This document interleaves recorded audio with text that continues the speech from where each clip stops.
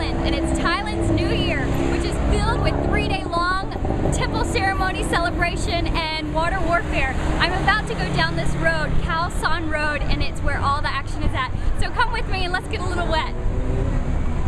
Every year in mid-April, the New Year celebration known as Songkran takes to the streets and temples. In the temples, you'll find people praying and gently bathing statues of Buddha.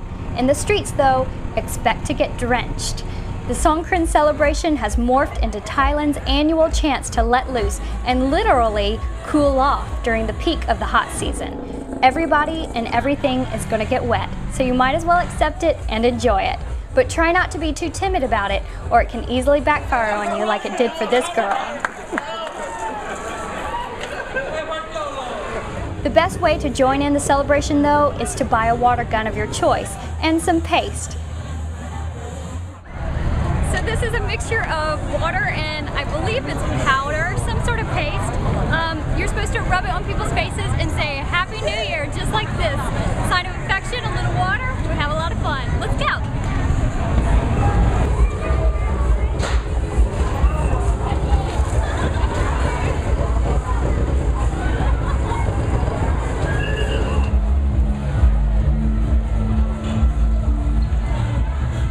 and do as the Thais do, party!